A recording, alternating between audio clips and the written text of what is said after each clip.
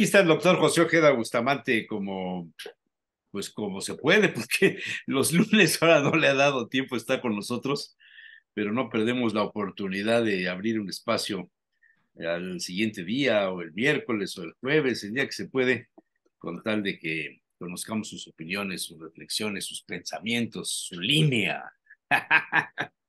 Pues, ya, ya, lanzó el reto, ya lanzó el reto eh, José Manuel, así que el próximo no, no, para nada. lunes ahí estaremos, ¿eh? Tírame la línea, por favor. ¿Por dónde vamos hoy? Hay varios eventos, hay varias cosas. El asunto de, de los libros de texto está causando polémica en todo el país, está regresando a las confrontaciones de, del pasado, de, eh, ya se habla de, de, la unión estatal o nacional, en este caso de padres de familia, como la representante de, esa, de, esa, ese pensamiento conservador, casi de la época del sinarquismo, de, de, los cristeros o qué sé yo, y del otro lado, eh, al hablar de comunidad y de conciencia comunitaria, y esto les dicen que son comunistas, al Max, eh, este, ¿Max qué? ¿Arriaga? Cortázar. Ah, Max, Max Cortázar, no, Arriaga. Ese, es, ese sí es del otro lado. Max Arriaga, de la nueva escuela mexicana, dicen, es que es Max, es, es Marx, no, no, o sea, hay un cotorreo tremendo. Ayer ¿cuál, cuál, cuál eh, Max? Porque también desde el otro lado es la misma estrategia y que del otro también. Sí, sí, pero todo esto nos lleva a una politización. Yo, yo he escuchado comentarios muy, muy sanos, muy buenos, algunos verdaderamente descabellados, porque creo que nadie ha leído en, sí todos los libros de texto, pero me causó curiosidad la, la columna que, publicó el, el lunes este, Riva Palacio. Riva Palacio parte de un asunto, yo no sé si tú le des crédito o no, pero el lenguaje que usa y, las investigaciones que hace Raimundo sí, sí tienen un asunto ahí interesante de, de, que no es nada más un juicio de valor. Dice, entre otras cosas, que los nuevos libros de texto gratuitos son el escenario más claro de la guerra cultural en la que estamos. Hay fuertes críticas por sus errores y por el secretismo de cómo se hicieron, así como por su pedagogía y metodología. Una de las censuras más duras fue de un experto en educación, Gilberto Guevara Niebla, no sé si sepas quién es, que afirmó que no llevan al alumno a pensar por sí mismo, sino que tienen un carácter instructivo doctrinario que buscan imprimirse en la mente de los maestros y alumnos, clausurando la vía para que ellos decidan libremente. Su argumentación nos ubica en el campo de batalla que nos lleva a estos libros de texto gratuito, tan controvertidos como muchos otros en el pasado, pero que a diferencia de otros momentos desnudan la guerra de López Obrador por la hegemonía del pensamiento, el control de las mentes y el futuro. Y hablan acerca de que los, los, la polarización de los valores sociales lo resume en una frase. Dice, eh, y el libro que tienen en, en sus manos es resultado de una lucha social histórica. Dice en un párrafo el libro Lo humano y lo comunitario del primer año de secundaria en su página 6. La nueva escuela mexicana busca trascender la lógica de mercantilización construida en los libros de texto de los modelos educativos anteriores, o sea, la crítica al pasado nuevamente, que modifique la condición centralista del sistema escolar para transitar hacia uno más descentralizado, abierto, dinámico, que impulse aprendizajes críticos, porque solo así será posible disminuir la incompetencia del conocimiento técnico, el cual considera a los estudiantes como los desposeídos de los problemas fundamentales de su vida cotidiana. Le dedica una columna bastante amplia, cita a, Alexis de Tocqueville en, en esto que hay una sociedad que se niega a morir y una que quiere nacer. Y me quedo ahí con esta frase, con esta reflexión de Tocqueville. Sí hay una sociedad que se resiste a morir, hay una corriente política, hay una corriente ideológica, hay un sistema que se resiste a morir y hay otro que quiere nacer, pues no sé si de la mano de la 4T o, o de qué mano, o, pero, pero debe haber un cordón umbilical. Y quizá ese cordón umbilical es la educación. ¿Tú cómo ves esto? Tú has estado en la academia, has estado en el estudio de la ciencia política, has sido profesor, has, dirigido incluso universidad. O sea, ¿cómo ves este tema, Pepe? Bueno, a mí me parece, así, la, eh, así como lo has referido, es muy significativo. Eh, porque nos abres el, el panorama. Eh, Alexis de Tocqueville es una muy buena referencia, pero me parecería también interesante colocar en nuestro imaginario a dos personajes, a Gramsci, pero también a Tomás Torquemada, ¿no? ¿Sí? es decir, que, eh, porque eh, desde que, desde la semana pasada, eh, lo que tú dices luego se hace realidad, que escribir no es lo mismo que hablar, ¿no? Lo que tú has, referido. Y desde la semana pasada estoy que quiero hacer un artículo utilizando con la analogía de Torquemada lo que está pasando con el tema de los libros de texto, ¿sí? Porque es interesante la manera en cómo en cómo precisamente hace varios siglos eh, eh, lo, lo, acusaron de, de, precisamente del mote de hereje, pues no, que le, lo, lo, acusaron.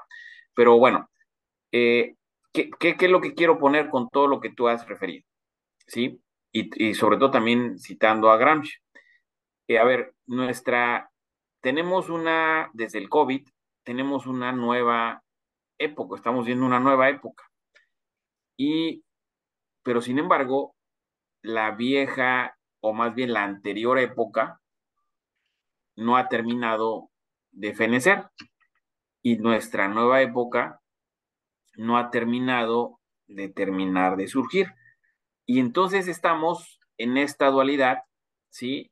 Donde lo nuevo no termina de llegar y lo viejo no termina de irse, como bien lo refieres. ¿Y qué significa eso?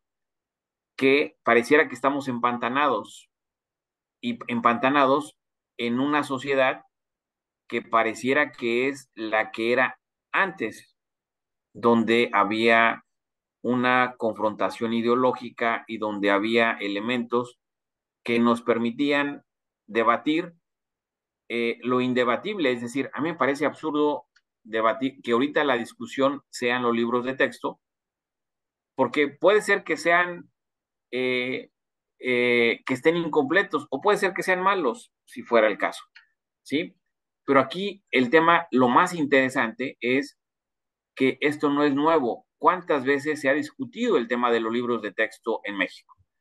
Desde, desde el surgimiento mismo. Desde el momento en el que se reformó la ley de educación, que la hizo un derecho de todos los mexicanos y que había que tener textos comunes porque solamente tenían el acceso a las bibliotecas de la, de la, esta, la, la famosa de la British, ¿no? Este, solamente la tenían determinadas escuelas y las demás no, y entonces el que tenía más dinero podía comprar libros de mejor calidad, de mejor eh, pues, autoría, importados y tener otros conocimientos por encima de los que iban a las escuelas públicas.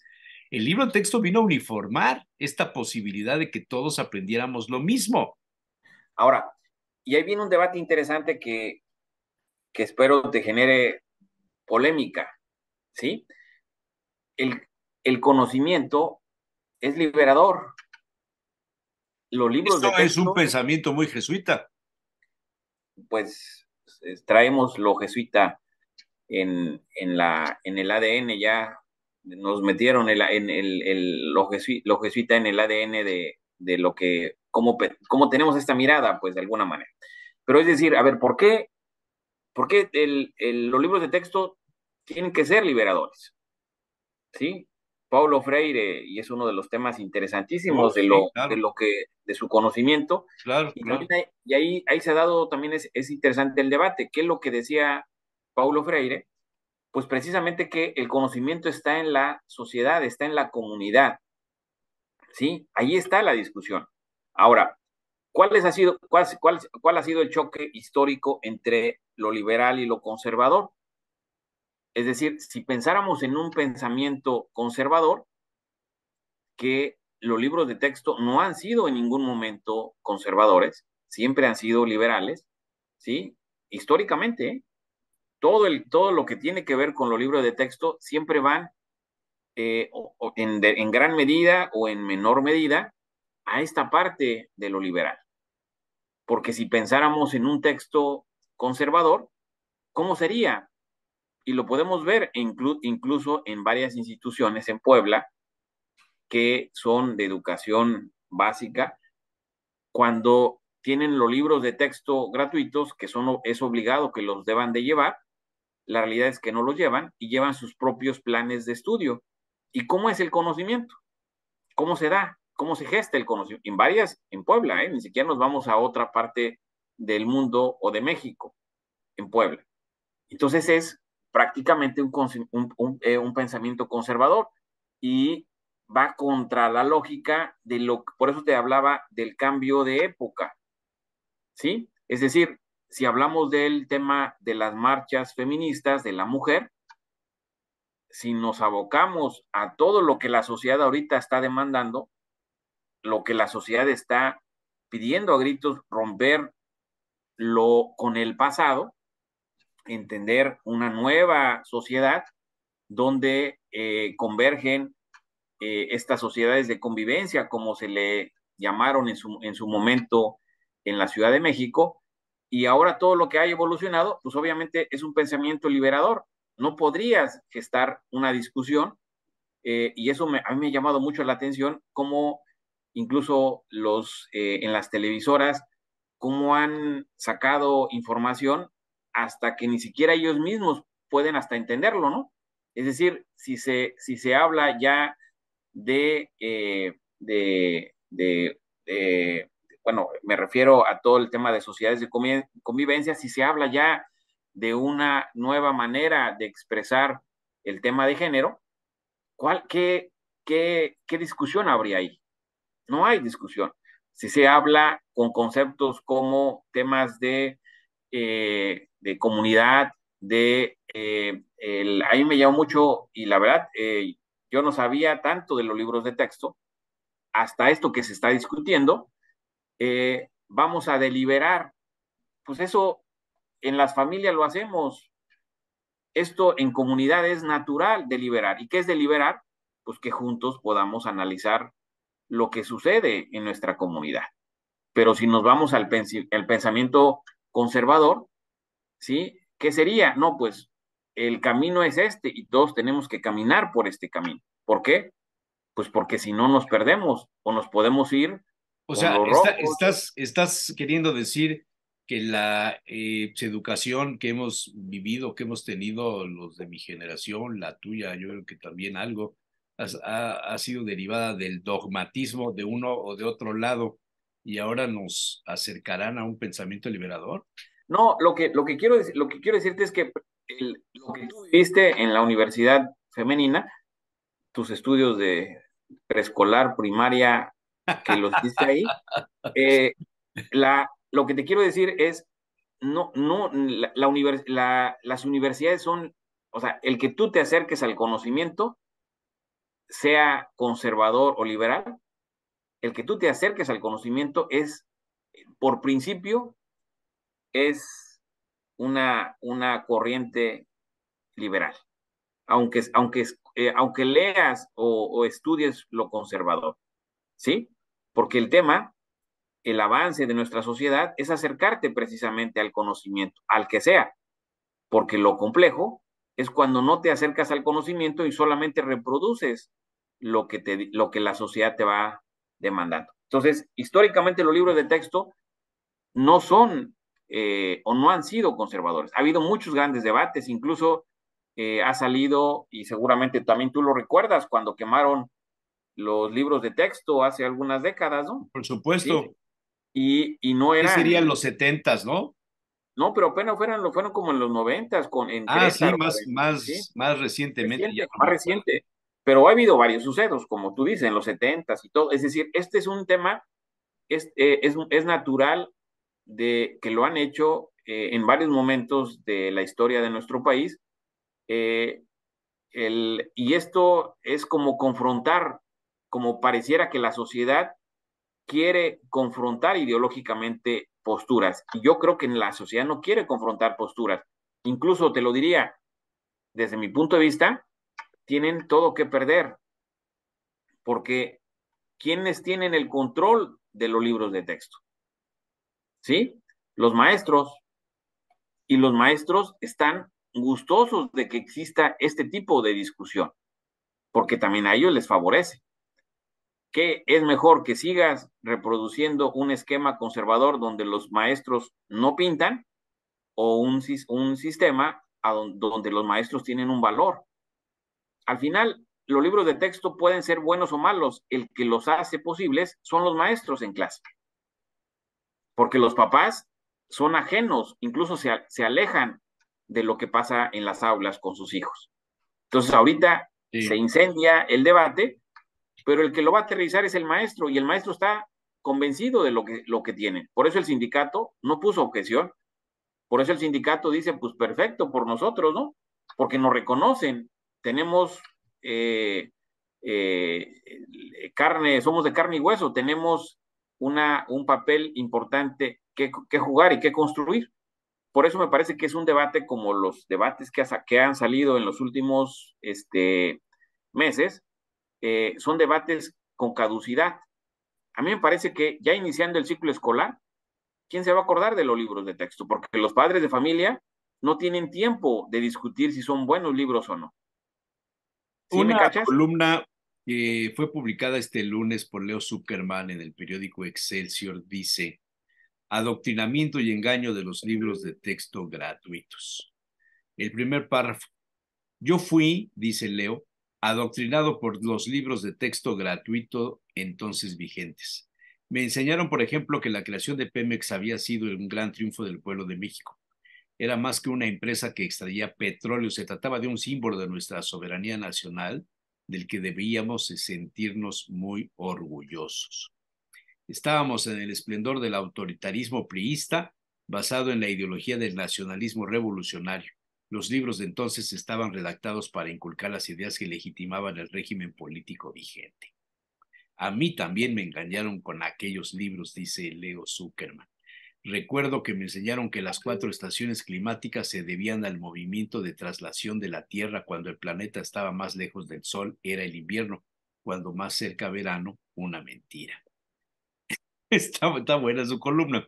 Y se refiere se refiere a la controversia que ha levantado la, la publicación o la distribución o la impresión de estos nuevos libros y cita un artículo de Jorge Castañeda ha aparecido en la revista Nexos, eh, La guerra de los libros de, de texto. Mira, dice, que es interesante. espérame, espérame, nada, nada, más te leo este parrafito, dice, vale la, la pena leerlo a Jorge Castañeda, porque resume bien las críticas. No estoy de acuerdo, sin embargo, en un punto. Dice Castañeda, hay una crítica a los libros que es de procedimiento, no haber pasado por los filtros de consulta, la discusión y de revisión de distintas instancias que en principio se encuentran estipuladas en la normatividad, incluyendo la constitucional. Pero la crítica fundamental no debe ser de tipo procesal, sino de contenido.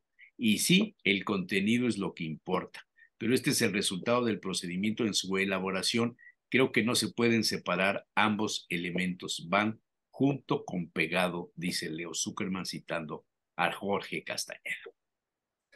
Sí, fíjate que con esto que comentas me, parece valioso eh, comentar. A ver, hay un, un proverbio africano que dice que mientras los leones no aprendan a cazar, las historias nos las seguirán contando los cazadores.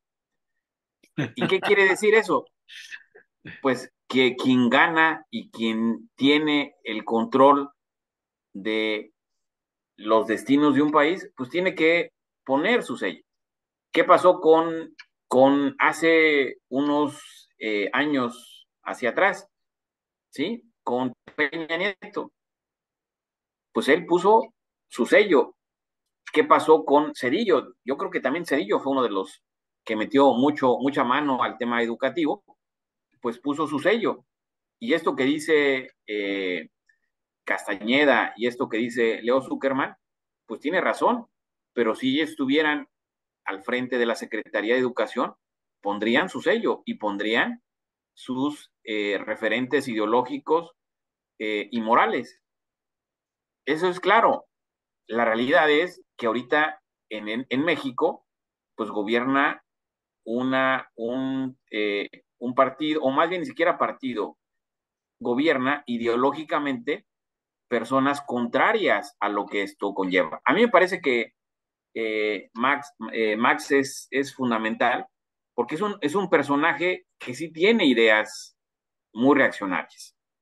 La manera como lo expresa, pues sí genera convulsión en muchos. Pero si nos vamos un poco a revisar quiénes hicieron los libros de texto, cómo fue el proceso, imagínate, cinco años después de que entró Andrés Manuel, se cambian los libros de texto, es decir, durante cinco años se dio en las aulas un, aprendizaje que ideológicamente no estaba alineado a la 4T. Entonces, imagínate lo que representó en el hacer, ¿sí? Cuatro, cinco años. Y ese proceso, la parte fundamental, quienes los hicieron, son los maestros. Por eso te decía, ¿cómo se legitima un proceso cuando los maestros están inmersos en ese proceso? Y si ellos están contentos y están de acuerdo, y, y ellos son los que participaron en, en la elaboración, pues claramente la posibilidad de que se deslegitimen es muy poca. ¿Cuál se, hubiera sido lo contrario? Pues que un grupo afín a estas ideas reaccionarias de, de, Marx y de todos estos, los, los hubieran hecho, ¿no? Y hubieran contratado a personajes con esas características, ahí difícilmente se podía legitimar. Y por eso regreso al, al tema inicial, a mí me parece que no está mal Leo Zuckerman y tampoco Jorge Castañeda. Está claro que si ellos tuvieran la posibilidad que la tuvieron, eh, los harían diferentes. A mí me parece que sí tiene que ver el debate en lo que pasó, porque también eso sí lo, tú lo tienes muy claro y en algún momento también eh, lo hemos platicado. El negocio de los libros de texto era gigantesco. Ah, ese es otro asunto como el de las medicinas. Ese es otro asunto y además algunos impresores eh, cercanos aquí a esta ciudad en el pasado estuvieron en, la, en, en, el ojo del huracán. Exacto, exacto. Entonces, es, es el mismo tema. Si quitas ese, eh, eh, o sea, ahí creo que vale la pena diferenciar. Por un lado, lo que representan los contenidos, sí, claramente tienen una postura ideológica que parte desde otra trinchera que eh, ahora no partieron. Pero también creo que vale la pena como desmitificar un poquito algo más. El tema de los conocimientos, es decir, ha habido debate o han salido comentarios. Primero, me parece que no hay una buena estrategia de comunicación del presidente, como siempre, y no han sabido comunicar a tiempo, es decir, pareciera que les gusta meterse en problemas y que el presidente salve de todos a todos. A mí me parece que era innecesario llegar a esta discusión si se hubiera difundido todo el proceso y todo la, lo que representó elaborar los libros de texto. Pero entonces, si nos vamos o ¿crees que es un, es un problema de comunicación el, lo que completamente, ha derivado en este conflicto? completamente, porque si nos vamos a analizar, los otros también tienen problemas ideológicos y por, también tienen un problema de, de, desde, desde dónde se construyen. Y este se está construyendo claramente desde una postura, y es claro, pero vámonos a los conocimientos, a lo, a, la, a, lo duro del conocimiento. Es decir, realmente se reduce matemáticas, realmente desaparece eh, lo, muchos de los elementos que se han referido ahí, que ya no hay el, las horas o, los textos. Eso no es cierto, pues. O sea, el conocimiento duro ahí está, no lo puedes cambiar. O sea, estamos cayendo nuevamente en la dicotomía de buenos y malos, de, de árabes contra asturianos, de palestinos contra israelíes, de comunistas contra este no contra anticomunistas, republicanos contra franquistas cristianismo sí, comunismo no. Todo este asunto lo, Lo ha revivido. en relación a generar el caldo de cultivo del proceso electoral del 24. Exacto. Y ¿De qué lado se pondrá Xochitl? ¿De qué lado se pondrá Adán? De, bueno, sí saben, ¿de qué lado se pondrá Ebrard o Claudia o Santiago Krill? O... Es interesante cómo puede desencadenar esto en una derrota tremenda para el Frente Amplio, ¿eh? Sí, ahora también es interesante por qué no se han metido tanto eh, Adán, Adán Augusto, No, Claudia. no se han metido, no se han metido. Y no se han metido, ¿sabes por qué? Por la pequeña y simple razón de que no entienden este proceso. ¿Sí? Chihuahua. Y, o sea, no entienden el proceso de la elaboración de libros de texto, pues al- es algo técnico, pues, ¿sí? Ideológico, pero es un tema técnico. Es decir, eh, se generan una serie de consejos técnicos, revisiones, grupos, colegiados, este, y, pero, pero lo que te quiero decir es interesantísimo. Están de, atrás siempre los maestros. Y entonces, por eso el sindicato no ha hecho olas, pues, ¿sí? Hay, hay gente que revisó, que trabajó, que le Parece que el Baester sí, sí dijo algo, ¿no? Ajá, pero ya él, pero no el, el- o sea, ya a estar como parte eh, del sindicato, pero no la parte central. O sea, el líder sindical y los, y los sindicatos han, han referido que no tienen ellos ninguna objeción de que eh, se implementen estos nuevos libros de texto. ¿Sí? Ahora, lo que sí tiene, y eso es importante, y se discutió hace tiempo, seguramente tú recordarás, que casi eliminaron el civismo, ¿te acuerdas? Sí, claro. Y que ahora, ¿eso es bueno o malo? Pues si lo vemos desde la otra lógica, pues está terrible, ¿no? ¿Sí? ¿Por qué eliminar estos elementos del civismo, no? Ahora, esto lo que hace es recuperar muchas cosas que se habían eliminado anteriormente. Por eso, como tú bien dices, esta dicotomía ahí está, ¿no? Ahora, si somos estrictos en el análisis y decimos, a ver, eh, los libros de texto están mal, no, la realidad es que no es así. Pero si somos expertos en matemáticas, pues podemos dar un, una, con, con objetividad un análisis. Sí, los libros carecen de esto y de esto en matemáticas, o los contenidos eh, dejaron de, eh, de atenderse esto y esto y esto, ¿sí? Pero no hay discusiones así.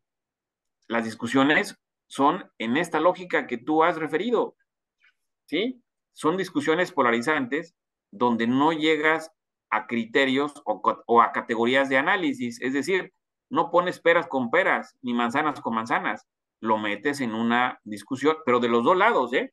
Yo lo he escuchado del, del lado de los que ahora tienen, los, los que ahora son los cazadores, ¿sí? Que eh, lo, sus comentarios son absurdos porque también se ponen del otro lado como pareciera que tienen la verdad absoluta, ideológica. Sí, sí, sí. sí y eso tampoco ayuda, porque no va por ahí. Pero por el otro lado, a mí, a mí sí me parece que lo mejor que puede pasar en una sociedad que se discuta esto. Lo peor que puede pasar en una sociedad es que en unos meses se olvide y que sea aplastante lo que la otra parte haga. Y la que otra... Ver, eh, dime. Los libros seguramente se van a distribuir. Yo Exacto. veo muy difícil que, que no hay manera. la posición de los que están ahorita prohíban la distribución. Entonces van a empezar las clases y los profesores van a saber si los usan, si no los usan, si los dejan a un lado, si les dicen a los niños, esto es lo que dicen los libros, pero no es cierto. Lo que es cierto es esto, y a ver, cómprense el libro fulano de tal o aquí consulten en la biblioteca. Esto, esto cuando yo fui a la escuela, que alguna vez fui, los libros de texto estaban guardados, nunca los usábamos, salvo cuando llegaba el inspector de la zona, había que sacarlos en la página fulana de tal, todo el mundo, nadie los había abierto nunca, pero se abría el libro, porque al final del ciclo había que devolverlo para que se los dieran a los nuevos alumnos. Pero sin embargo, tú eras este, una, un privilegiado porque seguramente ibas a instituciones privadas. Eso sucede en las instituciones privadas. En las instituciones privadas hay libros paralelos. Claro. Te dan toda la lista de útiles y claro, dentro de esa lista claro, de útiles todos los libros. Efectivamente. Y, y pero y entonces eso también hay quien critica esto porque dicen la diferencia entre la escuela privada y la escuela pública va a ahondarse todavía más. Sí, eso sí, eso sí, eso sí tiene razón. Ahí creo que eh, ahí debería ir el debate. Es decir, lo que va a hacer es recrudecer estas posturas de eh, inflexibles de lo que está pasando en nuestro país. Es decir, se va a recrudecer todavía más. Ahora, e, el, la realidad es que el libro de texto es fundamental en la mayor parte de la población porque eh, quien no tiene acceso a una eh, incluso podemos hasta decirlos, a una educación de calidad, ¿sí? Pensemos que son la, las universidades, o más bien las instituciones privadas, eh, tienen, lo, lo poco que tienen es un libro de texto gratuito. Y este libro de texto gratuito podría funcionar, no sé si los has visto, podría funcionar incluso hasta sin el profesor, porque el libro es tan didáctico que te lleva, al alumno lo lleva de la mano todo el recorrido de, la materia o del contenido que se refiera y lo lleva de la mano a ir explorando lo que el alumno quiera y hasta donde él quiera llegar. El profesor entra a, ayudarle al análisis y también es importante porque le va dando más pistas, ¿no?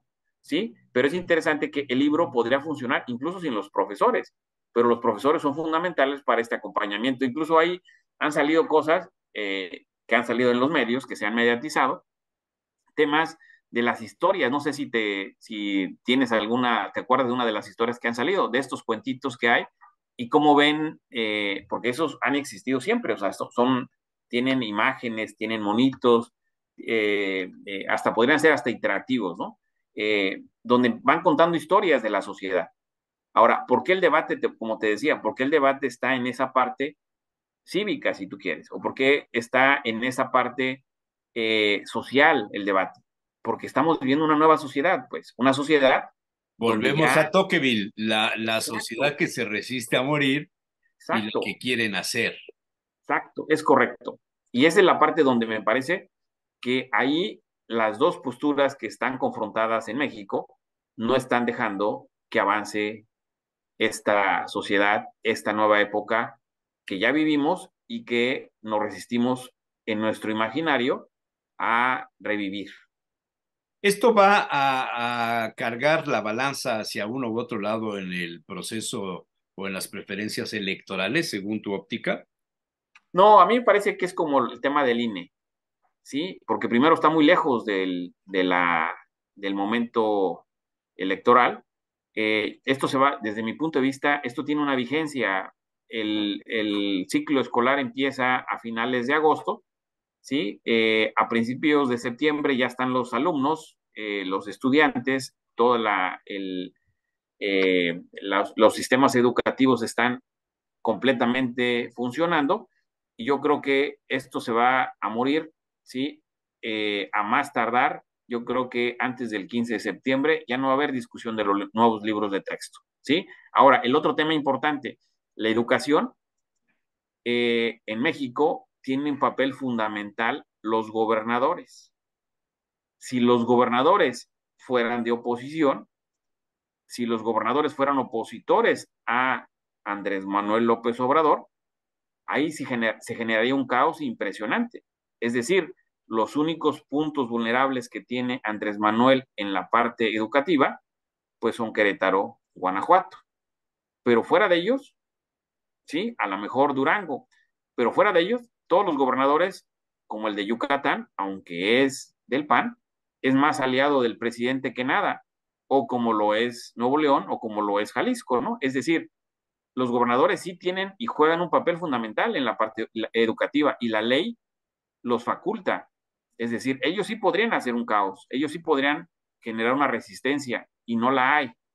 Otros son los, el sindicato o los maestros. Si el sindicato se opusiera, pues imagínate lo que provocaría, ¿no? Ahí sí, ni siquiera cerrarían las puertas para que se distribuyeran los libros de texto. Es decir, los dos actores que juegan un papel determinante en este proceso, pues son aliados del presidente.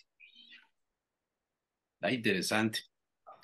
Bueno, ¿cómo ves a las corcholatas? ¿Qué, qué, nuevos datos? ¿Qué, qué, has visto en estos días desde que platicamos la última vez? Eh, hay unos que avanzan, otros que retroceden. ¿Y cómo ves la percepción que se tiene de la imagen presidencial hay una nota, un, tracking pool que, lleva desde hace bastante tiempo el economista, que sitúa al presidente López Obrador quizá en el punto más cercano entre que lo aceptan y no lo aceptan, según Mitofsky, en el mes, en los 30 días que se, se separan el 8 de julio del 23 con el 7 de agosto del 23, eh, el, del 60.9 bajó la preferencia al 56.5 y el desacuerdo eh, crece del 39 al 43.4.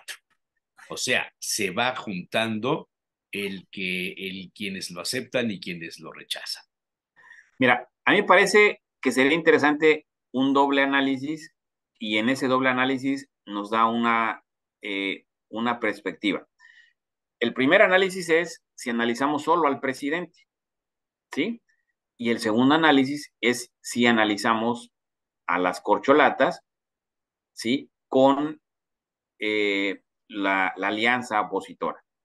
Y cuando analizamos la, a, la, a las corcholatas con la alianza opositora, es impresionante cómo eh, se ve triste el escenario de que no hay una oposición o no hay un liderazgo que pueda arrebatarle eh, a los aliados del presidente eh, el control o la posibilidad de ganar en el 24. ¿Por qué hacemos el doble análisis? Es decir, ahorita aparentemente el presidente entra en un proceso de debilitamiento, pero ese proceso de, de, de, de debilitamiento, ¿quién lo puede canalizar? una Xochitl, un Claudio X. No, yo, yo, yo, creo que es más hacia el interior de el propio movimiento, ¿no? Bueno, no sé, es la impresión que tengo. A mí me parece que lo que está pasando ahorita, y creo que esa es la parte donde sí vale la pena compartirte algunas, algunas eh, eh, pistas que eh, he, estado encontrando, que al interior de las corcholatas como lo estamos viendo en Puebla, y en Puebla es, es la mejor, es el botón que mejor nos puede eh, dar las señales en todo el contexto nacional. Eh, a mí me parece que no hay formalmente una unidad, que hay golpes bajos que poco a poco están saliendo a la luz. A mí me parece que pensar que Marcelo Ebrard y Claudia Sheinbaum son aliados y van a mantener la unidad, me parece que algo es irrisorio. Me parece que ya hay una guerra entre ellos muy fuerte, porque son los que realmente tienen posibilidades. Y también pensando un tercero, me parece muy lejano querer legitimar a Dan Augusto como el tercero en discordia. A mí me parece que es, está muy bajo en, las, en, la, en, la, en la percepción de la ciudadanía, en la confianza de la ciudadanía, y que lo hace o lo, lo saca del contexto de la disputa. Y la disputa me parece que solamente está en dos. Y la persona que sí puede mantener las condiciones o la posibilidad de generar una unidad, pareciera que no están en Claudia Sheinbaum. Y me parece que sí están justamente en Marcelo Ebrard. Pero justamente es un personaje que le rompería las posibilidades de eh, trascendencia a nuestro presidente Andrés no creo, Yo no lo creo, no lo creo. Yo, yo pienso que Marcelo no, o sea, no sería el empleado. No lo sería. Tendría una visión propia, tendría un proceder propio, buscaría la negociación con los grupos con los que el observador se ha separado, este, quizá imprudentemente, pero no creo que lo traicionaría. O sea, va a serle leal y tendrán sus acuerdos, ¿no? Eso sería, ese, ese sería como la, la justificación, o más bien, si tú quieres, no, no la justificación, eso sería cómo convencer al presidente de que Marcelo no es la amenaza. Si el presidente se convence, no hay mejor candidato que Marcelo Ebrard en este momento. Pero hay que convencer al presidente, porque me parece que el presidente sí tiene su resistencia y me parece también que Claudia no ha demostrado, ¿sí? Con todo lo que ha habido, no ha demostrado ser la presidenta que necesitan los mexicanos. ¿Sí? Sería un poquito como los debates que están estamos teniendo ahorita con el tema de los libros de texto. ¿Sí? Este, e, este Max Arriaga es terrible la manera en cómo comunica, porque lo hace desde, desde, una, desde una perspectiva ideológica irracional, pues, o sea, no hay manera de, de incluso ni siquiera de entenderle lo que está queriendo eh, vender. Es más, yo creo que ni siquiera ha entendido el momento que vive el mundo y México. Él sigue aquilosado en el pasado, como bien lo, lo referiste hace rato, y por eso hay un debate innecesario, ¿no? Sí, sí, sí. Qué interesante. Pues vaya que tenemos temas por delante en el futuro inmediato.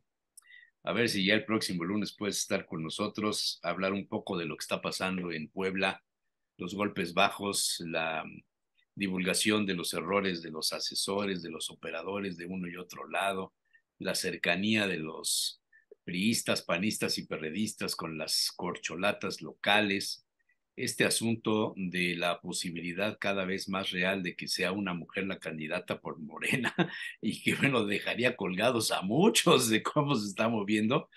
Vale la pena dedicarle, ya dijo Mario Delgado, que después del 6 de septiembre eh, empezarán con el tema de las candidaturas a los gobiernos de los estados, Puebla entre ellos. ¿Será el último? ¿Será el primero? ¿Quedará en medio? ¿Será la rebanada de jamón del sándwich?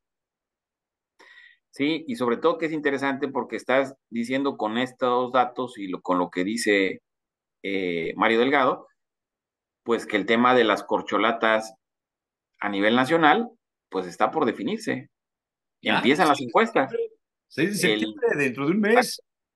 A finales de, de agosto sueltan las encuestas y en septiembre, el 5 de septiembre, ya va a empezar a dar color hacia dónde se va a ir eh, la definición.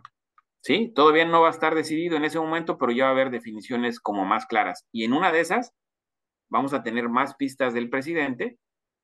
Eh, ya dijo algunas, algunas, ¿no? De donde habló bien de eh, Marcelo, de los niveles de inseguridad, porque ahí le corrigió la plana a, a, este, a Claudia, porque Claudia estaba presumiendo los, los niveles de, eh, o la, los indicadores de, de, inseguridad como han mejorado en la Ciudad de México, pero ella se los estaba eh, haciendo suyos cuando las estrategias, unas de ellas vinieron con Andrés Manuel, pero las, las que pareciera fueron las más sólidas fueron a partir de Marcelo. Y eso lo dijo el presidente y le dio precisamente esa posibilidad de reconocimiento adicional a Marcelo, que no lo había tenido, es decir, le guiñó el ojo. Pues eso. Y vamos a entrarle con los con lo local que está interesantísimo porque muchos se preguntan ¿y dónde está o dónde están los herederos del barbosismo, no? Ya casi desaparecieron. Ya ni, ni, ya ni aspiraciones a la gobernatura hay. Eh, ya, ya, ya me imagino la escena en Palacio Nacional, el presidente después del día 6 de septiembre, cuando se conozca el nombre de la persona que, que vaya a ser el candidato, el coordinador, como le llaman ahora, este, dirá cuando entre a, a Dan Augusto con su cara toda seria, cabizbajo, y le dirá, hermano, perdimos. Y cuando entre Claudia Sheinbaum, la abrazará, ella llorará, él le derramará también quizá una lágrima de peje lagarto, no de cocodrilo ni de caimán, apachará, se acercará a Beatriz y le dirán, hicimos todo lo posible. Sí, sí, sí, sí. Bueno. esas, esas escenas de película. Y después vamos a, en, en, algún tiempo, sería fabuloso recrear esas escenas como, las, como las que se han vivido en Palacio Nacional. Bueno, muy bien. Pues listo, Jesús Manuel. Muy bien. Pues eh, muchas gracias. Nos vemos el próximo, ya, el próximo lunes. Estaremos al habla, eh, a ver si es posible el, el lunes y si no, pues ya nos comunicaremos en el transcurso de la semana. Muchas gracias, Pepe. Hasta luego. Que vaya. Muchas gracias.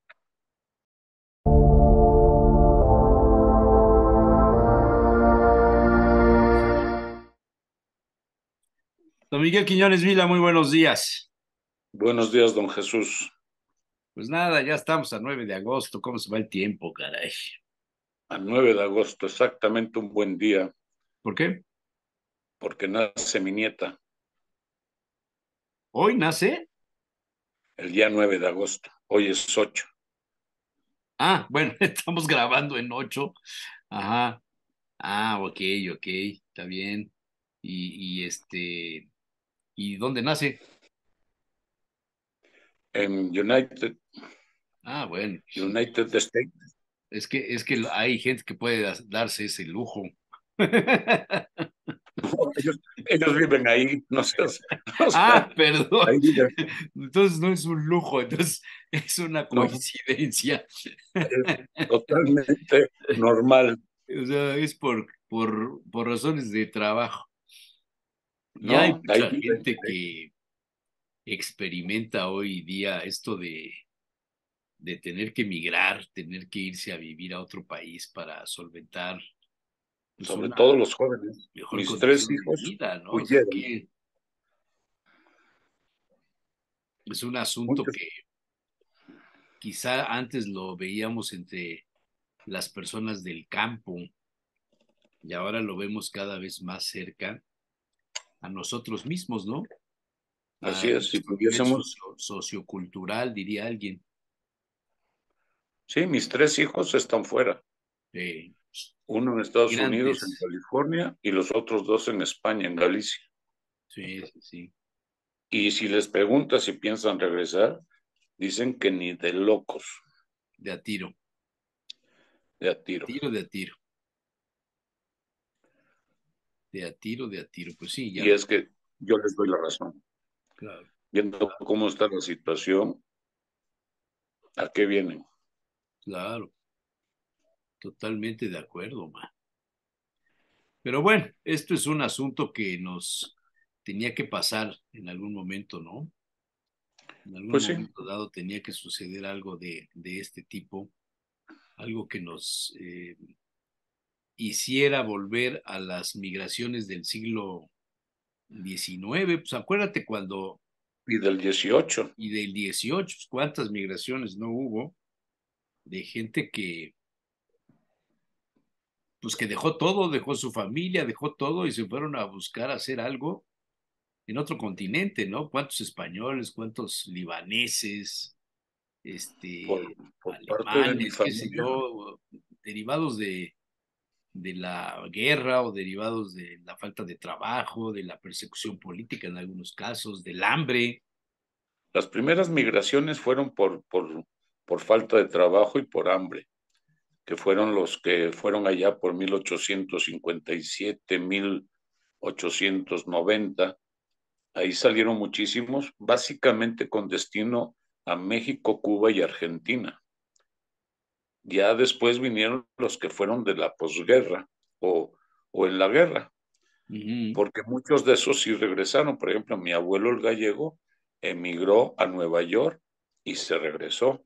Mi abuelo el asturiano emigró a Argentina y regresó.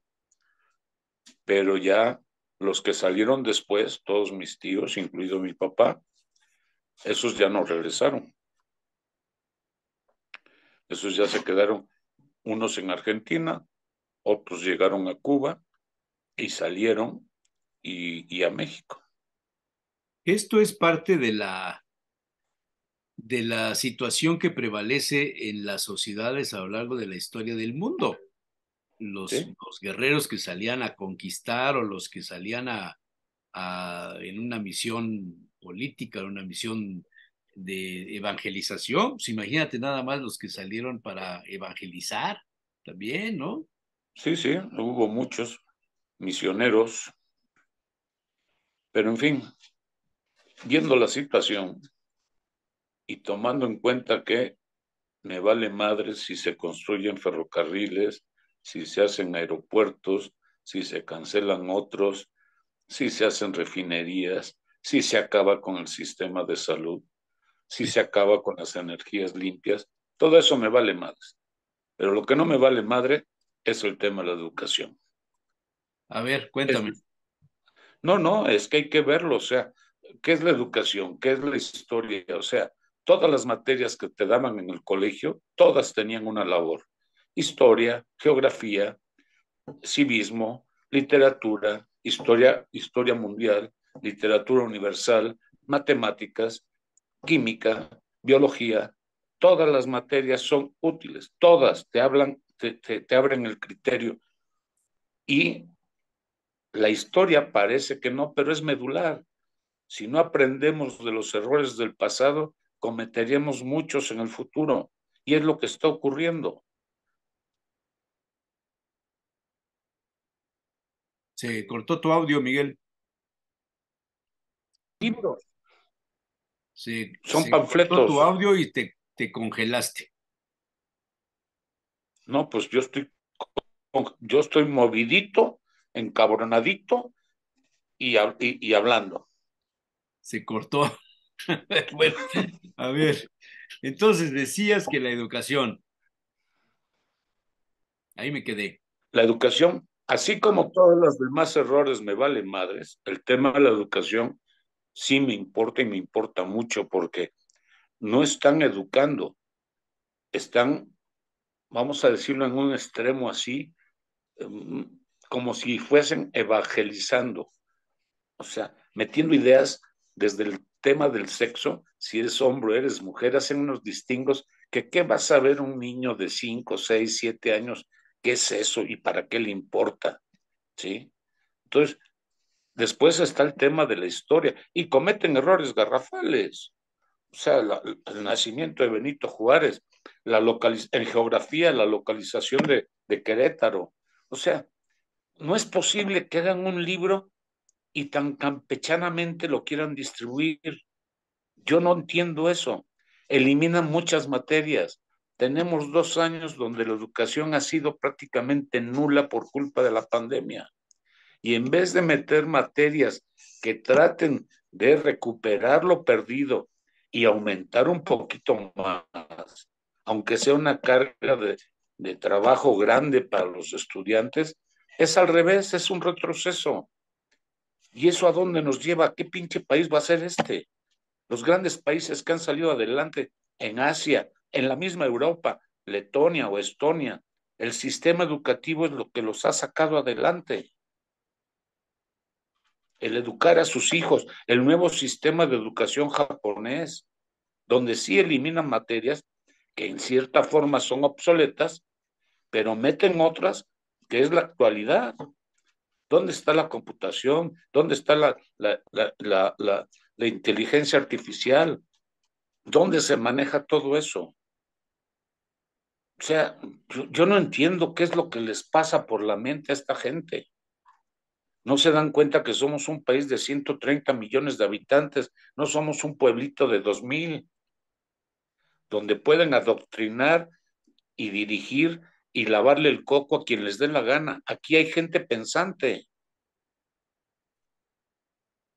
Y esto va a ser una bronca. Y otros que me tienen encabronado, eso sí, con mayúsculas, son los maestros. ¿Cómo permiten que les ocurra esto? si son los que deben de tener la vocación de enseñar y de instruir? ¿O todo es decir amén? O sea, todo esto que estás diciendo lo estás eh, señalando en relación a los libros de texto o vas por otro lado? Pues a los libros de texto, ¿qué más? Y, y por otro lado, desde que acabaron con toda la reforma educativa, podemos criticar a la maestra todo lo que quieras, pero la reforma educativa tuvo su función y la hizo bien. Y de repente la tachamos. ¿Sí? Se trata de dar chambas, el chambismo, chambismo y chambismo. ¿Y dónde está la educación? ¿Y dónde está la preparación? Que ya no hay exámenes. Ah, ok, entonces pobrecito, se va a traumar el pinche escuincle porque reprobó. No me frieguen. Sí, sí, sí. No sé si viste el programa de lunes por la noche de Latinus. No. bueno, hace una relación, este, eh, Loret de Mola, de las personas que colaboraron en los libros, bueno, en la redacción de los libros. Y dice, entre otras cosas, dice que, que muchos de los que escribieron los libros, hay un coordinador, hay una, hay personas dedicadas a esto que tienen experiencia, pero hay unos que no tienen título, que no tienen especialidades, y me asombró mucho que decía que había varios que formaron parte del grupo de asesores de los gabinetes de los gobiernos de Venezuela. No lo entendí, no sé por qué esto. Porque quieren, ahora sí que Cuba y, Venezuela son los héroes de, de los que nos están gobernando. Y nada más hay que ver la miseria, la cantidad de cubanos que han salido de Cuba después de ser la, creo que les decían la perla del, del Caribe, y la cantidad de venezolanos que han salido del país más rico de Latinoamérica, un país de cerca de un millón de kilómetros cuadrados y que no sé si llegue a los 30 millones de habitantes. Bueno, a lo mejor estaba en 30. Han salido más de 5 o 6 millones de venezolanos de, de Venezuela. Sí, porque una cosa es gente que salió de Venezuela como yo porque mi papá se enfermó y no teníamos más familia, y otra cosa es los que salen o por miedo o por persecución o por hambre. Eso es muy distinto. Y estar bajo la bota de, de, de, un... Critican el imperialismo yanqui. Es peor el imperialismo que ellos manejan. Sí. Sí, sí, sí. ¿A dónde vamos? ¿Y esos asesores, asesores de qué? ¿Qué, qué, qué tienen? ¿Qué? ¿Que se, se, se llamen Max por, por, por Max? ¿O Lenin por el otro? que además, o sea, no tienen madre. Antes era Washington Pérez, ahora es Lenin Hernández. Carajo, por favor. Bueno, pues son, las, son los nuevos signos de los tiempos, man. Pues es que no podemos permitirlo, porque también había por ahí por más. Somos en Veracruz había gente que se llamaba Washington, había gente que se llamaba Pelé. En Venezuela muchos, Washington Pérez, puta, infinidad.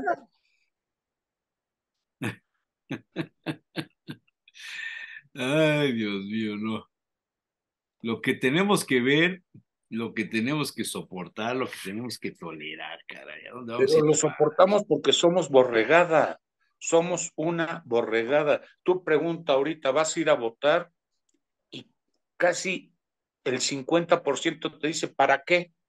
¿Cómo que para qué, pendejo? Para, para poder decidir quién te va a gobernar y qué camino vamos a, a seguir. Bueno, falta tiempo para las elecciones también. lo que tú quieras, hay más de 20 millones de, credenciales de, del INE que no se han recogido. Y mira que la credencial del INE la necesitas hasta para ir al baño. ¿eh? Sí, es cierto. Entonces. Sí, para cualquier trámite necesitas la credencial del INE. Esto es totalmente cierto, sí. Totalmente cierto.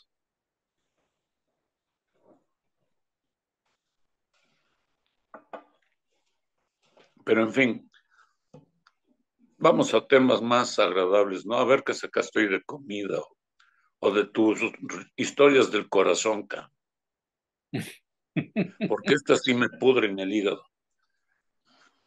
Y ya no tengo edad para estar aguantando pendejadas, la verdad. Prefiero ir por la vida alegre y contento y campechanamente. Pero sí voy a votar Bueno, estoy de vuelta ya con Miguel Quiñones a ver si no volvemos a tener problemas. Creo que hay que empezar a cambiar el equipo de cómputo. creo que ahí está el problema. Yo creo que por ahí empieza lo jurado, ya voy a. También se podría cambiar el operador. También. Pero bueno, vamos a dejarlo. Vamos a echarle la culpa a alguien, ¿no? Ya sabes que en esta vida se trata de que alguien sea el responsable. sea del presente o del pasado. Oye, tú cuando eras chavo, allá en tus tierras, en tus lares, seguramente sembraban cosas afuera de tu casa, ¿no? En, en, en Galicia o donde hayas vivido, en Venezuela, no sé si te tocó, este... En Venezuela no, en Venezuela vivía en Caracas, ahí nada. Ahí nada. Pero en Asturias, en Asturias y en Galicia sí. en, en, Asturias, sobre todo, mi tío sembraba, sembraba maíz. Donde sembraba el maíz, sembraba las faves, porque es una especie de enredadera, y el tallo de, de, la planta del maíz servía como de, de estaca para guía.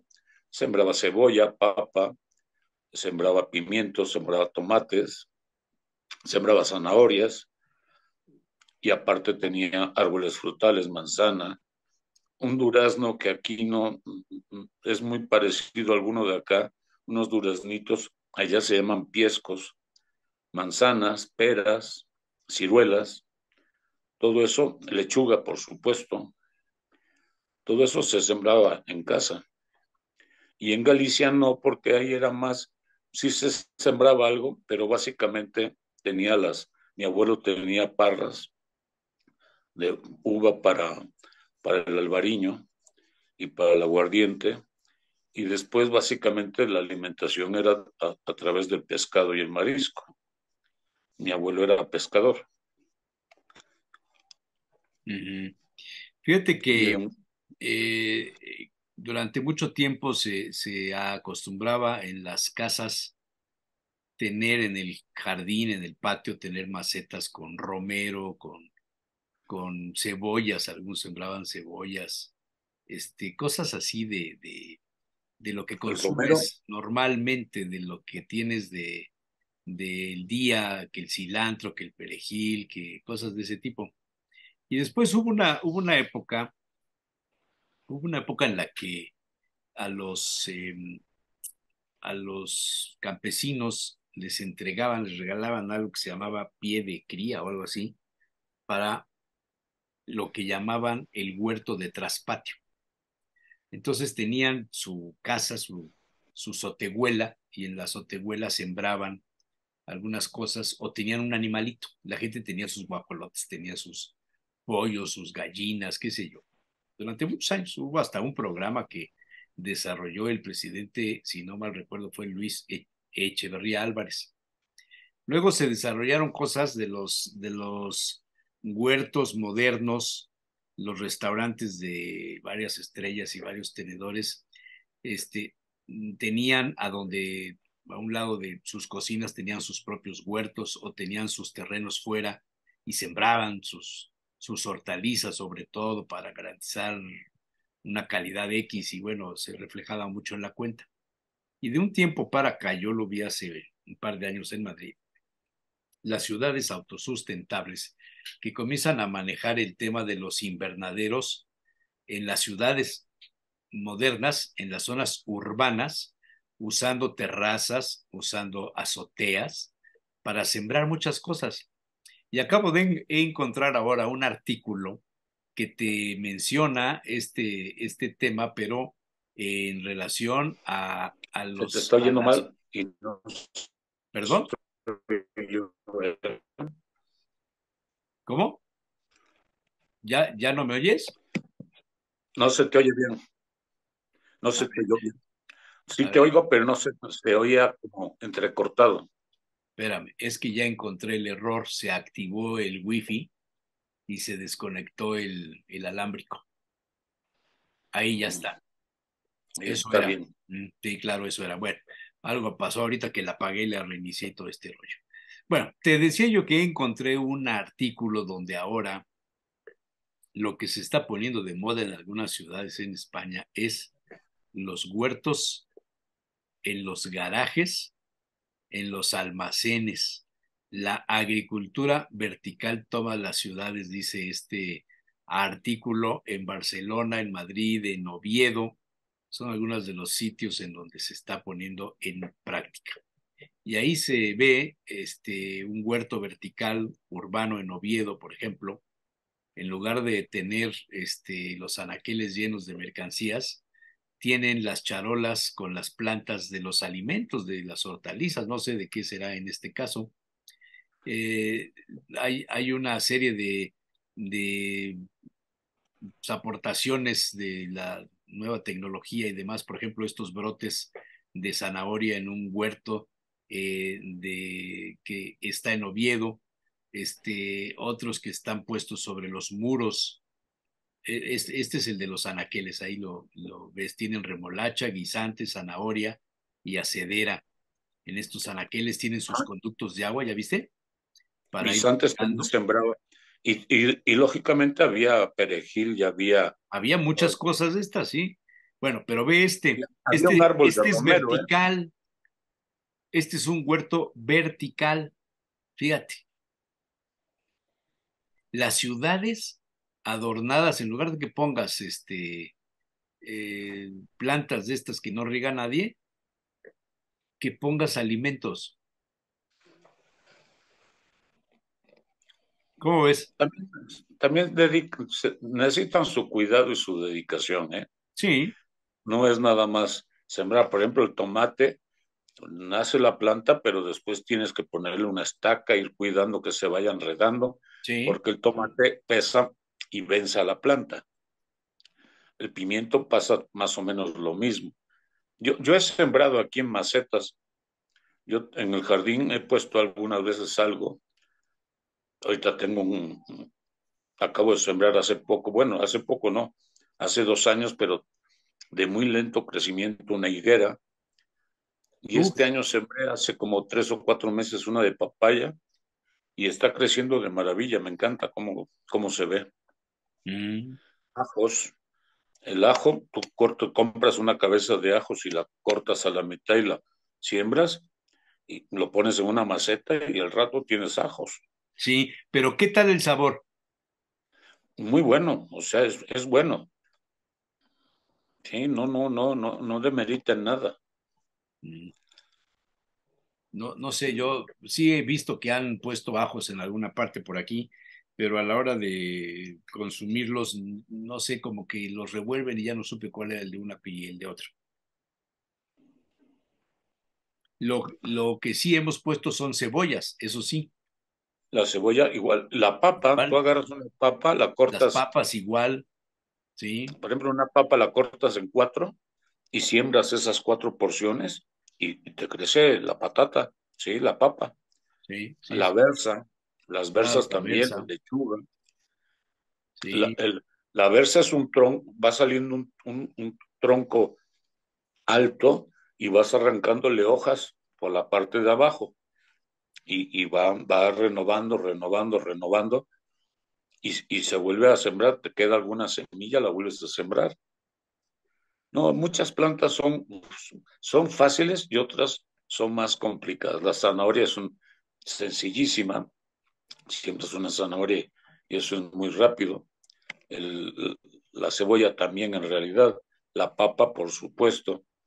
Ahora ya lo demás tiene más complicaciones. Los que son frutos como el tomate o el pimiento, eso ya, ya es más complicado el asunto. A ver, tú que eres hombre de café, seguramente este, has visto o tendrás en tu casa un artefacto como este. Por supuesto. Esa, la primera la trajo mi mamá de Venezuela. Era la cafetera que teníamos en casa. Y el pozo de ese café, mi mamá se lo ponía a las macetas. A las macetas. Sí, el, el pozo de esta. Esto es ¿Cuántos años tendrá esta, esta cosa en el mercado? Más de 100 años, porque la inventó un italiano, sí, fácilmente, creo que acaba de cumplir 100 años. Y, y, y, las versiones que son parecidas ya las hay hasta de porcelana, pero esto fue un super invento. ¿No se llamaba Melita? No me acuerdo cómo se llamaba. Yo la tengo todavía. Bueno, yo, tengo dos. Yo tengo una, pero que. La que, trajimos de Venezuela y una que. Una que dejó de funcionar. creo, creo que la válvula, o no sé, el, el, el, el hule que, con el que cierras, que cierra la, esta Bueno, yo la, la usé muchas veces y yo creo que fue de las primeras formas en las que tomábamos un buen café express. No sé dónde vi por aquí, en una de mis idas para el centro, que reparan cafeteras de todo tipo. A ver si me acuerdo y te lo te digo dónde es, porque sí vale la pena. Pero esa cafetera que acabas de enseñar, la, la italiana esa, es una maravilla. Es que esa es la original, así debe ser. Sí, sí, sí, yo, yo tengo una que por lo menos tiene mi edad o más. O sea, ya estamos hablando de casi 70 años, porque esa la tenía mi mamá en, en Venezuela, en Caracas. Y después yo compré aquí una ya por el, por 1980, creo que compré una, y tengo las dos. El filtro es el único que de vez en cuando, y, los, y lo que tú le llamas celulito, se llaman O-rings, es el que sella. Y, ya, y, el, y hay el alguien filtro. que te lo improvisa, ¿no? Sí, y, y, pero ya los venden por ahí, creo. Los he visto donde venden refacciones para Oye Express y todo eso, ya tienen ese tipo de, de, sello. O-ring. Bueno, el O-ring es más una, una redondito y, y, es el que sella, pero no es propiamente un, un, un O-ring, pero sí es algo que hace la misma función. Sí. Bueno, yo, yo creo que sí debe tener como 100 años, ¿eh? Seguro. Sí, por lo menos 100, y, por lo menos. Y a, a, había en, en el pasado la competencia de si usabas esta cafetera que para mí creo que se llamaba Melita, para mí creo, ¿eh? No estoy totalmente seguro, pero no era sé. de aluminio. No, era de acero inoxidable. Ah, bueno, las que yo, la que yo tengo era de aluminio. Porque el asunto es que pones el agua, pones el filtro con el café y sí. entonces Hierve. la presión, Hierve. la presión pasa el vapor a través del café y se va, se va, se va licuando al momento que ya va a caer en el depósito donde queda el café, que te sube, sirve para hacer sube. Mismo. El, el, café sube. O sea, pones sí. el agua en la parte de abajo, le, sí. la, le pones el, el, filtro y con el, el café. Eh, con, el, con el café, la cierras, la pones en sí. la lumbre, el agua hierve, y entonces el vapor del agua pasa por el café que no, no, tiene con el contacto con la parte de arriba, con la, eh, la parte de arriba. digamos, el recipiente tiene un, tiene un tubo y por la parte superior se derrama el agua y entonces es un café muy sabroso, que dice la que arriba... la técnica no es italiana, sino es francesa. Y en algunas no, pues... partes de esta cafetera te la venden como prensado francés. ¿Sí has visto las francesas de vidrio? Sí, sí, pero esta yo sé vidrio, que es invento italiano.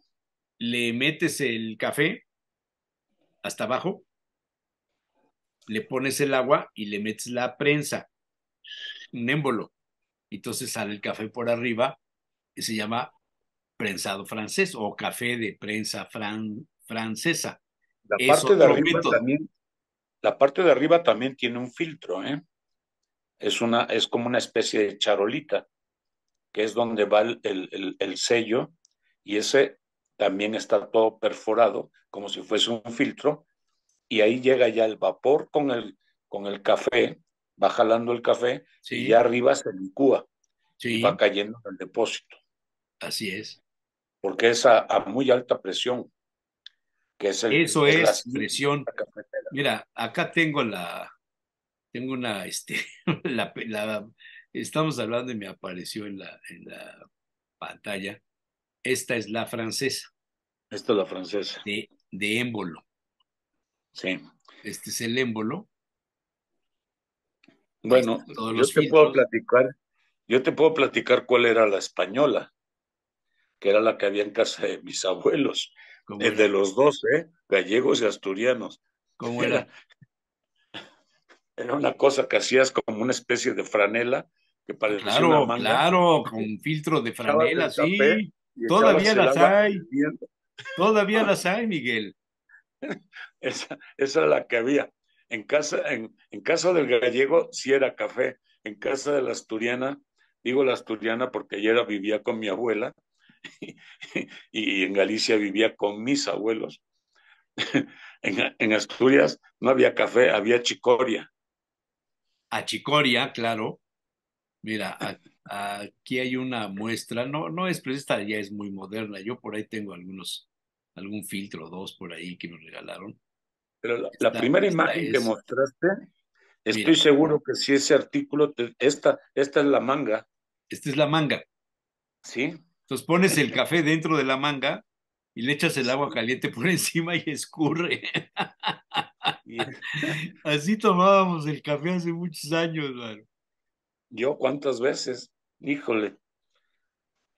De manga.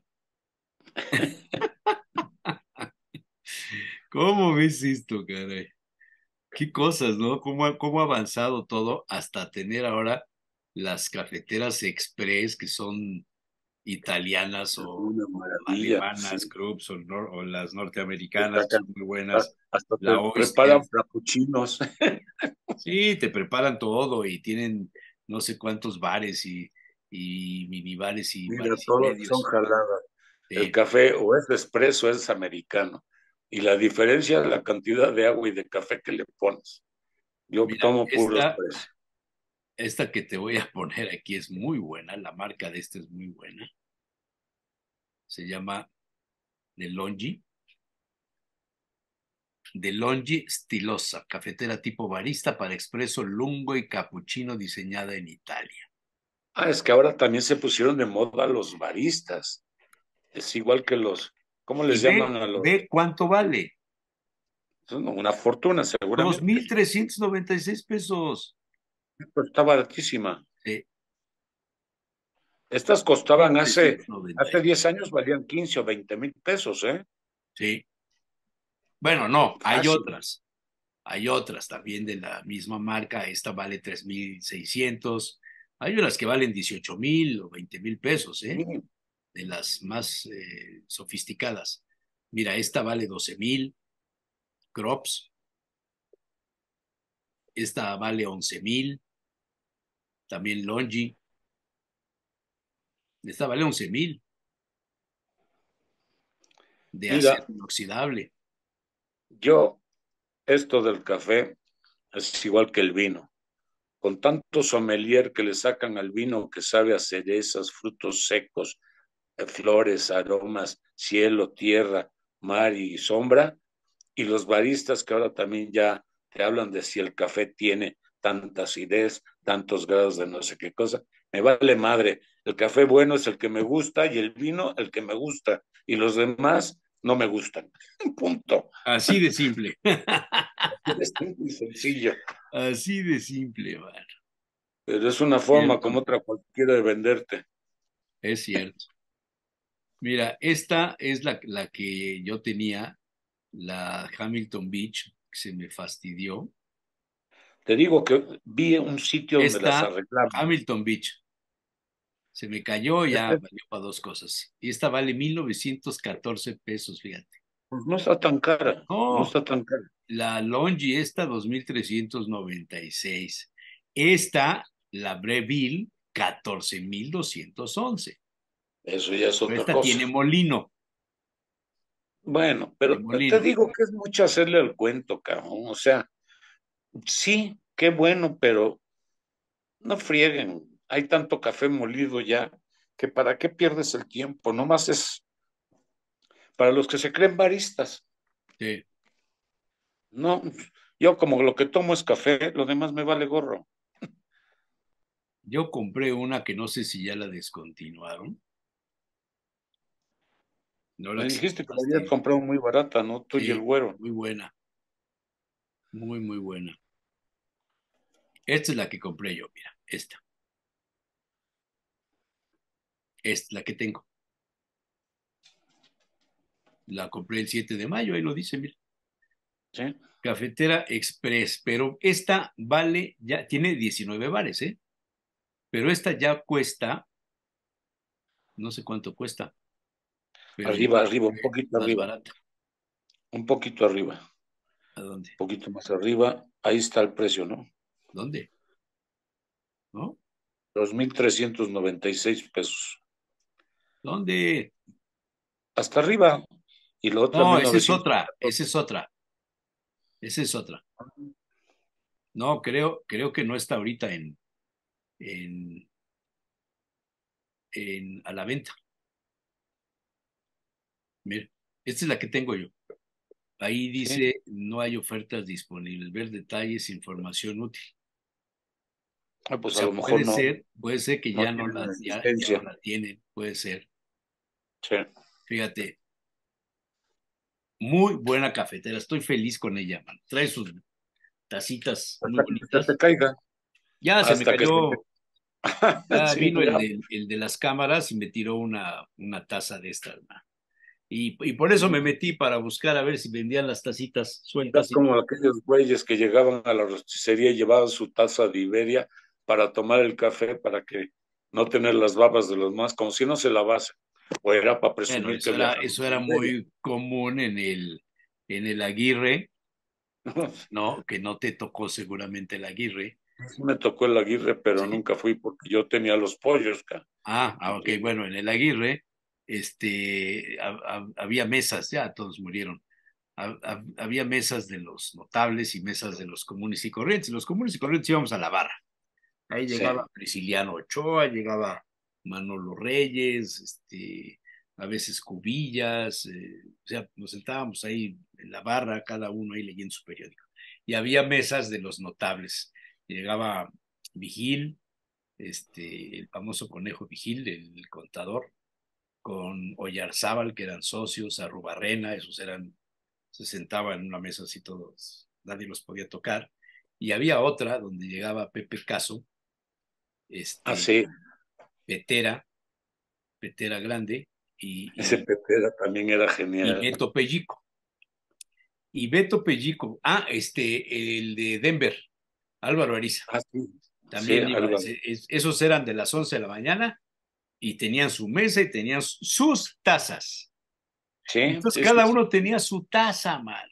A mí se me hacía una cosa verdaderamente ridícula. ridícula. La taza cabrón, del señor fulano, la taza del señor sultano, por esto que estás diciendo, y había algunas de línea aérea, como lo estás diciendo, les daba, la de media era la más común. o, o les daba asco, o querían presumir que ellos tenían tazas de la línea aérea que se habían robado del avión, porque yo creo que no las ¿Tú vendían, crees ¿no? que los restaurantes, tú crees que los restaurantes de terraza tienen éxito por la, por, por los fumadores? No, lo tienen porque la gente se va a mostrar Ah, claro, a que los vean. claro. O sea, así es, cabrón. No saben comer más que espagueti, pero al final quiere que la gente los vea. Es totalmente cierto, mano, totalmente cierto. No, pues yo no soy mentiroso, yo al pan, pan y al vino, vino, que es igual, es lo que te acabo de decir del vino. Te llegan y te dicen, sí, y lo pruebas, y dices, está bueno o está malo, punto. Yo no sé a qué sabe la rosa de Castilla, ni a qué huele, no sé a qué sabe el, el, el aroma de cenizas, que si se cuelga de las paredes, que si se escurre. No, hombre, me acuerdo de cuando era chico, de cuando era niño, mi abuelo hacía dos vinos, hacía un tinto que era muy espeso y se toma en una taza de porcelana, más bien en un pocillo, porque no era taza, es como, ¿cómo le llaman a los, donde te sirven la sopa a veces? como un, como un cuenco. Exactamente. Un cuenco. Ahí se tomaba el vino. Y el vino ese, sí, y si te manchaba, pintaba, en serio. Sí, No, o, o al tiempo, al depende, tiempo. era para Ah, comer. Y el, y el blanco, que si era el bariño, ese ya era otro boleto. Es, pero te lo tomabas en vaso, porque tampoco había copas. cabrón. O sea, Sí, sí, sí, claro, claro, claro. y, y ese, y ese vino tinto, el, mi abuelo me lo daba, pero lo, lo rebajaba con algo que le llamábamos gaseosa, que es, era como un, un sifón que aventaba agua con, con, pues con gas carbónico, supongo, igual que los refrescos, y eso rebajaba un poquito el vino. Y ese era el que nos daban a los niños. Los adultos tomaban el otro, que era Que luego pues- le comenzaron a llamar tinto de verano. exactamente. Bueno, yo eso no me tocó, no lo conocí así. Eh, hoy, hoy es el vino peleón, el vino joven, con la gaseosa, el tinto de verano. Sí. Muy bien. Muy bien, don Miguel. Pues ya se nos acabó. Ya, nos olvidamos de los candidatos. Sí, ya estamos hasta la verdad. Vamos a darles La otra semana los metemos. No les vamos a dar un descanso, más bien ellos nos van a dar un descanso a nosotros. Es que nada más si me la verdad ahorita y empiezo a ver, mano, voy a hacer corajes, mano, a ver, nada más por molestar. Oye, y, y ya habían, creo que ya habían quitado todos los espectaculares, ¿no? No, volvieron a ponernos, que sacó una, una nota ahí alguien. ¿Qué crees que lo digo? Que yo no soy especulador, bueno, sí soy especulero, pero, pero caray, que no, que no abusen de, de, de, de nuestra inteligencia. Sí, sí, sí, sí, sí. Pero en fin. De nuestra inteligencia. Bueno, nada más aquí por molestar. Este, ayer. Ahí vas, ahí vas. No puedes resistirte a la grilla. Tomó café la señora Claudia Rivera en el Royalty. Se encontró con Nacho Mier ahí. Dicen que casualmente. Mira, en el política no hay casualidades. Es más, solamente cuando se encuentran con algún, narco y lo retratan. Entonces sí, fue, fue una circunstancia ajena a mi voluntad. Fíjate.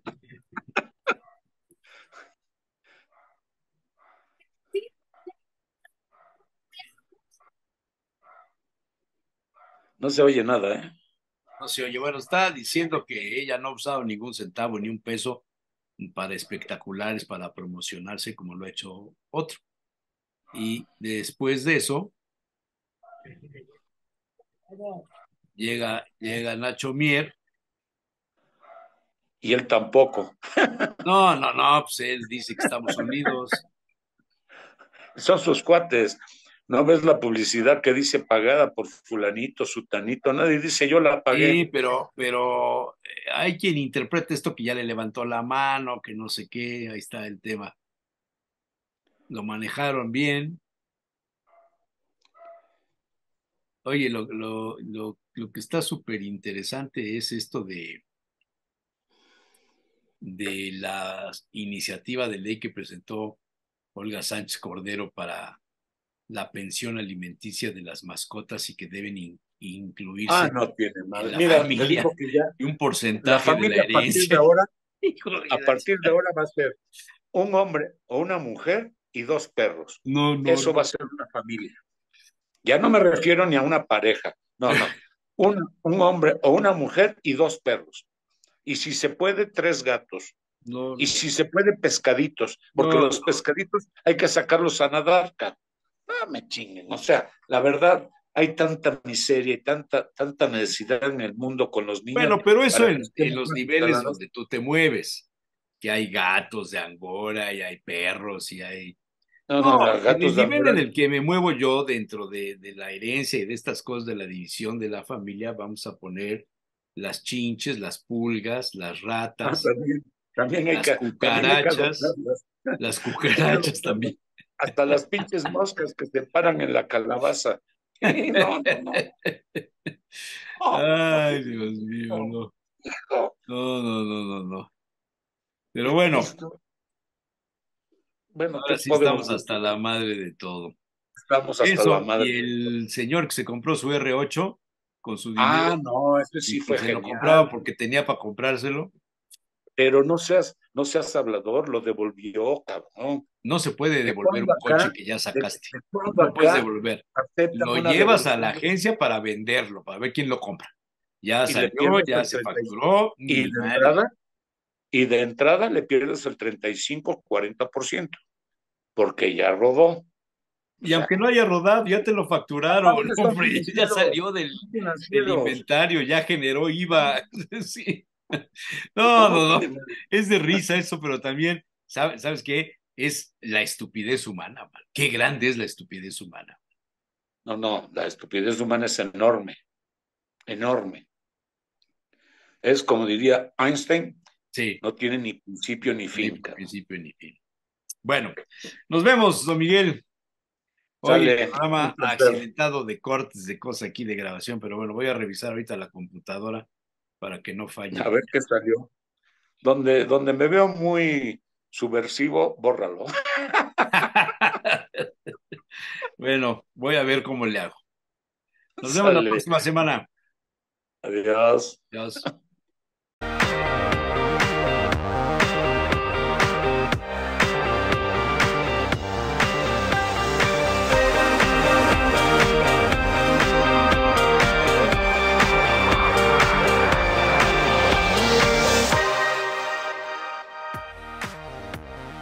Aquí comienza Ella Soy, el programa feminista de France 24. Mi nombre es Ángela Gómez y es un gusto saludarlos como cada vez que nos encontramos en nuestra cita semanal. Hoy vamos a tener una conversación alrededor de la inyección anti-México, como se les llama a los anticonceptivos de largo aliento que se han aplicado desde hace años las migrantes para protegerse de los embarazos no deseados. Esto previendo que serán agredidas sexualmente en su camino hacia Estados Unidos. ¿Están siendo atendidas? ¿Qué se sabe de los crímenes de violencia sexual en estas rutas? Vamos a conversar sobre todo esto con nuestra invitada del día. Pero antes de entrar en materia, un poco de contexto. Una inyección para evitar embarazos sabiendo que serán violadas. La inyección anti-México, popularizada por cerca de una década, es la única herramienta de defensa de miles de mujeres empobrecidas que deciden migrar, muchas veces con hijos pequeños, a fuerza de buscar una vida digna que ya no encuentran en su país de origen. El camino para muchas empieza en Honduras, El Salvador, Guatemala o Nicaragua, países restrictivos con los derechos sexuales y reproductivos, donde está prohibido el aborto y por lo tanto no recibirán asistencia para evitar embarazos no deseados. De hecho, difícilmente tendrán atención médica y psicológica. En ese contexto deben atravesar unos 5.000 kilómetros a través de México, la ONG Médicos Sin Fronteras reconoce que es casi imposible saber cuántas mujeres han sido agredidas en la ruta, porque la mayoría no denuncian por miedo. Y es que las violencias son ejercidas por traficantes de personas, pero también por agentes de seguridad. La organización reportó que entre enero y septiembre de 2022 dio asistencia a 17.491 mujeres migrantes y refugiadas en México, Honduras y Guatemala, pero solo se hallaron 51 casos de violencia sexual. Y en Nicaragua no hay medios de ayuda tras la expulsión del gobierno de Daniel Ortega de las organizaciones humanitarias como Médicos Sin Fronteras y la Cruz Roja Internacional. La situación de desprotección se replica en todos los países de tránsito y actualmente es imposible de controlar, sobre todo si se tienen en cuenta las cifras mundiales. De enero a junio de 2023, 108,4 millones de personas se desplazaron en el mundo. De ellas, 51% fueron mujeres y niñas.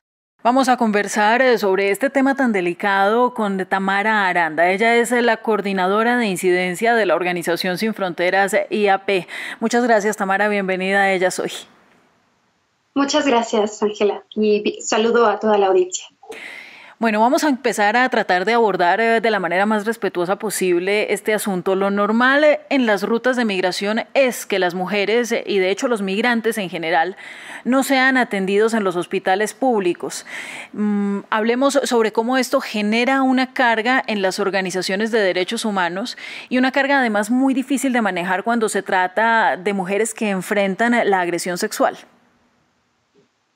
Sí, definitivamente observamos que mm, la falta de atención a estas poblaciones que ya se encuentran en una situación de vulnerabilidad y bueno, esta es una falta de atención desde el tránsito, ¿no? Em, sobre todo aquellas que de hecho ya salen por un contexto en el que no hay atención suficiente en sus lugares de origen bueno, se van acumulando muchas necesidades y en el caso de México, ¿no? cuando estas personas ya llegan al país, pues se enfrentan a diferentes barreras. Una de ellas es la falta de documentos, eh, la falta de estos documentos eh, que acreditan una regular estancia en México, pues bueno, lo que provoca es que al ir a alguna institución de salud, aunque el derecho a la salud pues es, debe ser accesible para todas las personas, pues se les es negado, ¿no? También la falta de conocimiento de muchas autoridades del sector de salud, ¿no? Sobre estos documentos que ya acreditan la regular estancia, como una tarjeta de visitante por razones humanitarias, la misma residencia permanente, una residencia eh, temporal,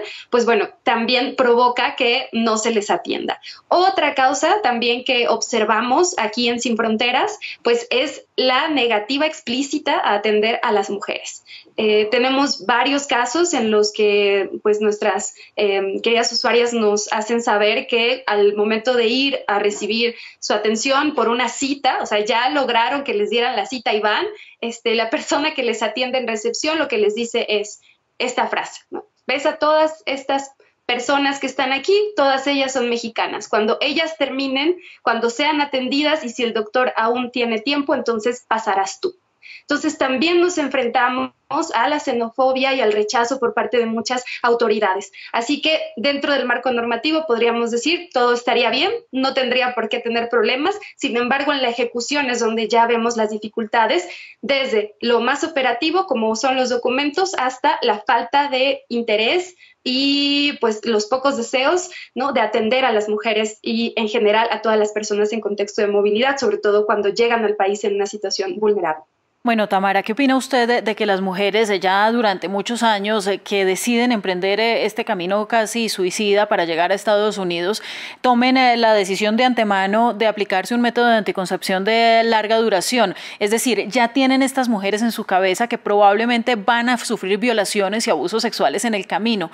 Dicho esto, pues usted qué opina del estado de salud física y mental en el que llegan a sus manos las mujeres migrantes que acceden a los refugios? Pues llegan en, bueno, son varias las condiciones, ¿no? En las que podemos encontrar estas, eh, estas llegadas. En primer lugar, pues viene toda la carga de haber salido, o sea, la carga psicológica de haber salido de sus países de origen, de haber dejado familias, eh, de los, muchas de las causas fueron violencia, eh, falta de empleo, falta de oportunidades, ¿no? También vemos cada vez más frecuente que la tierra, por ejemplo, ya no da, ¿no? También los factores del cambio climático, desastres socioambientales, etcétera. Entonces, bueno, por una parte es ya el conflicto emocional, el desarraigo, ¿no? Estos procesos de moverse eh, incluso cuando es de manera voluntaria, también hay un proceso difícil, ¿no? De romper lazos, etcétera. Y bueno, cuando llegan acá, eh, vemos también las dificultades, ¿no? Para los procesos de integración, también estos mecanismos, ¿no? Ya de regularización migratoria, eh, el rechazo de la misma población, la xenofobia, el racismo, etcétera.